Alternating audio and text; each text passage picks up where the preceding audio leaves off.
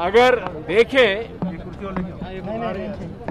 तो एक साल में पेट्रोल, डीजल से केंद्र सरकार दो लाख सत्तर हज़ार करोड़ रुपए उपभोक्ताओं की जेब से निकालकर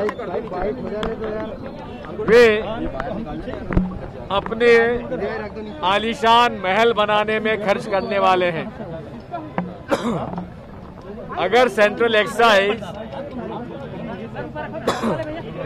चौंतीस रुपए से घटाकर जो नौ रुपए थी यूपीए सरकार में तो लगभग 25 रुपए लीटर पेट्रोल पर और डीजल पर भाव कम किए जा सकते हैं।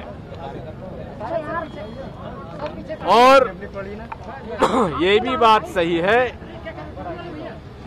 कि हर बार भाव बढ़ते हैं, लेकिन बंगाल के चुनाव के पहले उन्होंने भाव कम किए।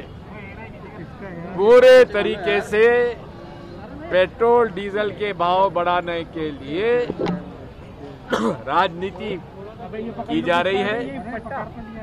अब जनता उनकी बात समझ चुकी है।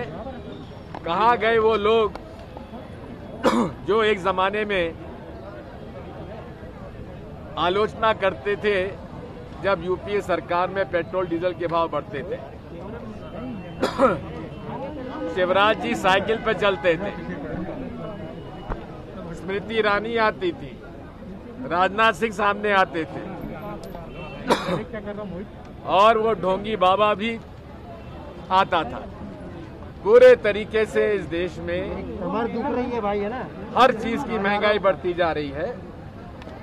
पेट्रोल डीजल के साथ खाने के तेल और दाल हर चीज़ की महँगाई बढ़ती जा रही है।